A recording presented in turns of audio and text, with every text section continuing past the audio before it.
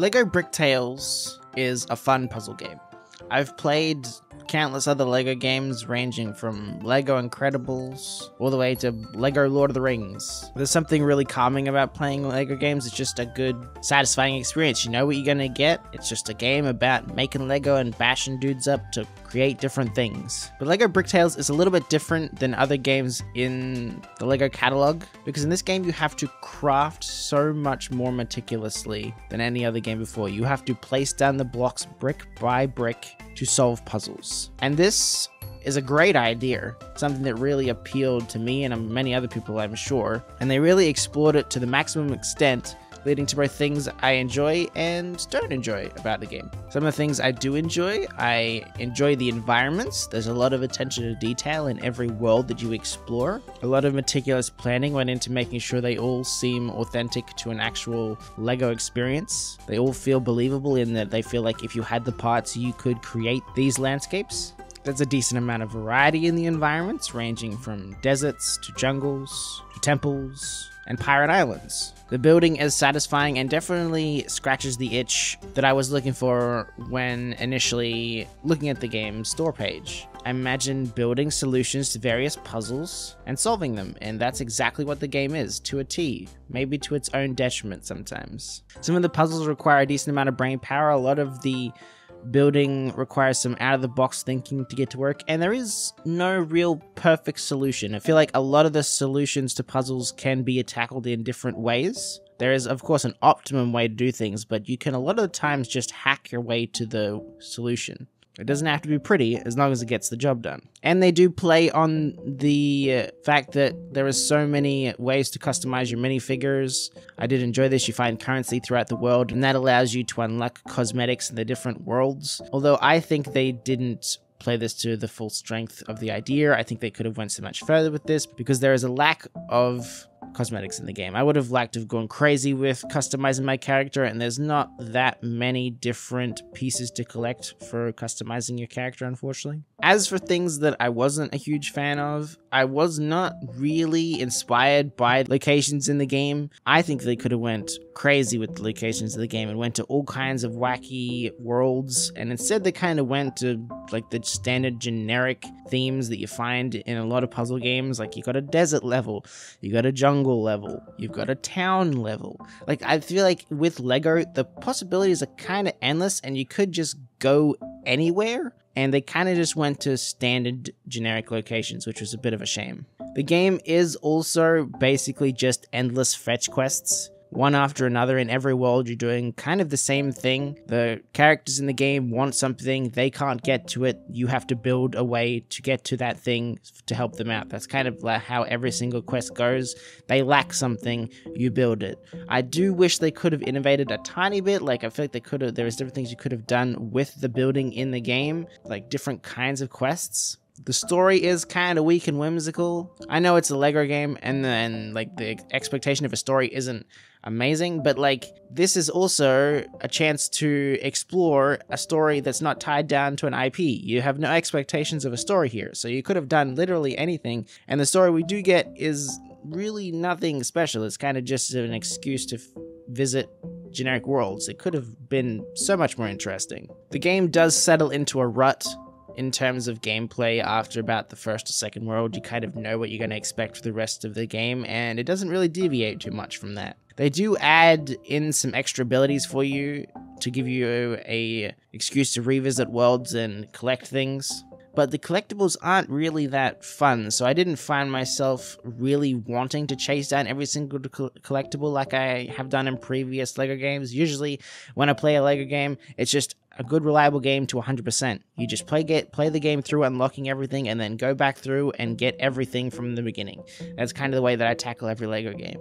And this one I just really wasn't that compelled to go through and get collectibles. There were a few puzzles that I felt were too difficult, like two or three that I actually had to look up a solution to because I tried for like half an hour on some of these and could not even get remotely close to what the game expected of me. And that might just be me being dumb because I'm not the smartest when it comes to puzzle games, but at the same time, I feel like it should be accessible to everyone. And some of these puzzles just felt like you had to exactly know what they wanted of you and build it that specific way.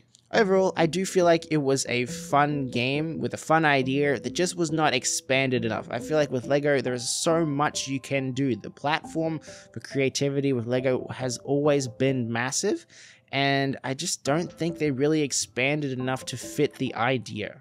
Maneater is a game about being a shark and eating people, and I never thought a game like that could be boring. But unfortunately, here I am, bored when I think about Maneater. I've tried to finish this game a few times, and each time I felt myself kind of getting bored with the game, and this time I figured I'd just sit down and finish it.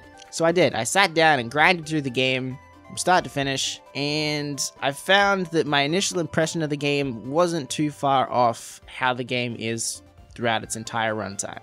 As for things I liked, I like the idea of being a shark. I like the idea of being that boogeyman in the night that kills and eats things. It's really fun for gameplay. That idea in games has been around for ages, and it's just a fun one being the monster. In a world where so many people fear sharks, it's fun to be the thing that you're afraid of. Going under the water, eating things, leveling up, becoming stronger and bigger. That idea is fun.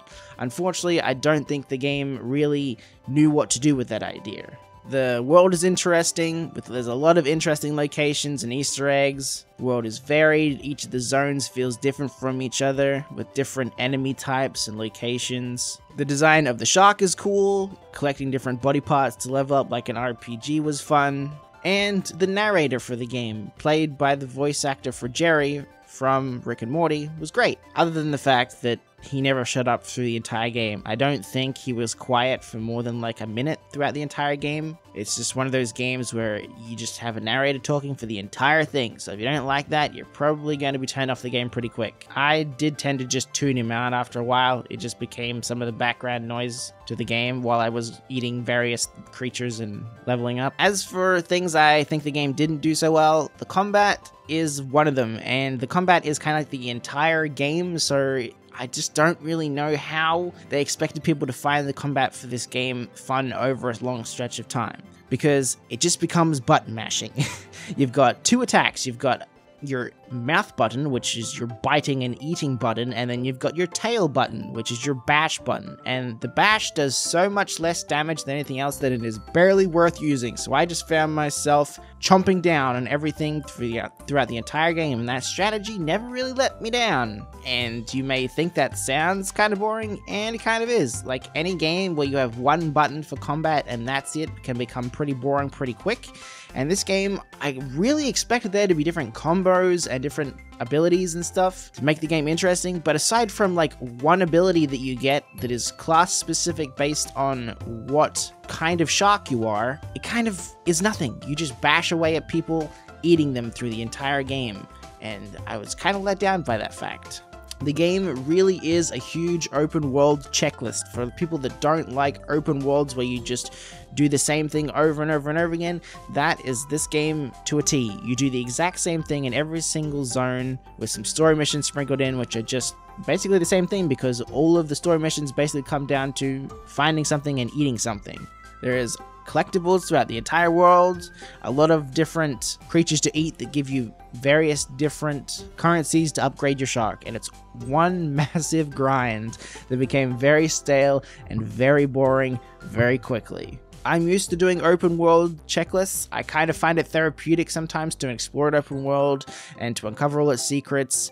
Like, a lot of people have problems with the Assassin's Creed series in the last couple entries. Myself, I find it kind of therapeutic and fun to explore a giant world and find everything there is to find. If I was doing the exact same thing in those games every single minute of the game, I would probably feel the same way as other people do and drop it. But in this game, I just feel like they could have done more. Again, wasted potential. The story is not very interesting at all. It is just a revenge story. You play as a shark whose family was killed by fishermen, and then you spend that entire game hunting down the friends of the fishermen to then kill the fishermen at the end. That's that's the story from start to finish. It does doesn't deviate from that. Upgrades are not actually that exciting. I expected the game to have some crazy upgrade trees that you could really expand into that make the shark just really scary and weird and wacky.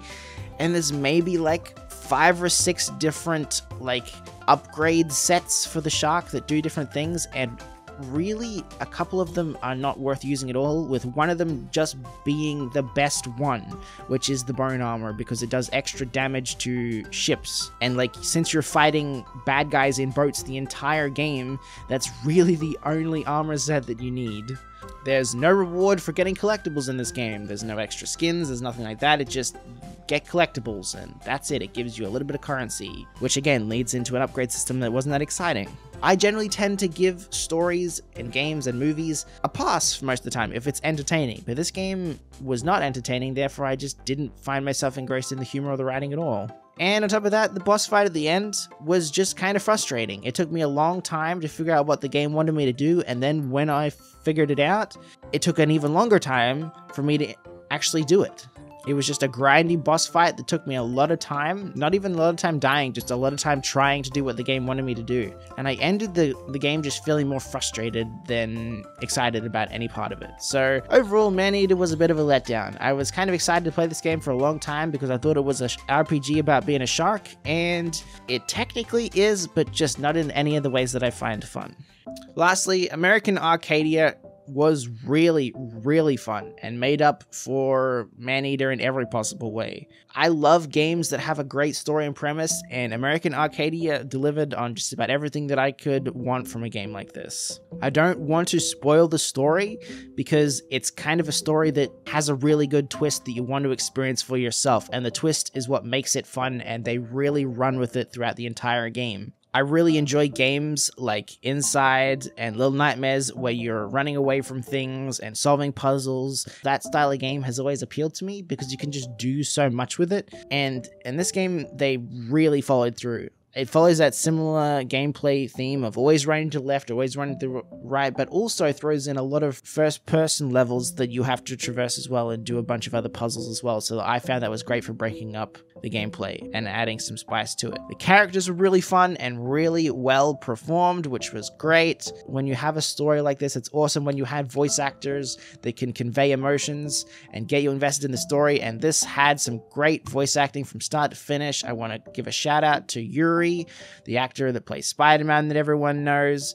He's great. I love him whenever I hear him in anything. And in this game, he just had a, a chance to shine in a character. The visuals and presentation were top notch. Again, the visual style for me was a 10 out of 10. I love it when games have a unique visual style or a unique theme and they just go all the way with it. They don't hold back, they just go all the way. It doesn't have to be realistic in any way, it can just go with the theme and run with it. I love it. The story had plenty of twists to keep me engaged. It wasn't just a straightforward story. It had me guessing a lot of the time at how it was going to go. And while I wasn't 100% satisfied with the payoff, which we'll talk about in a little bit, I do think the twists were enough to keep any player that's in good, invested in a good story engaged. The gameplay was simple but enjoyable. Again, it's just running from left to right, solving various puzzles, none of which were too uh, hard to do as well, which was great. They were at that perfect level of fun and entertaining, but leaving you a little bit confused at the beginning till you figure it out, giving you that aha moment, which is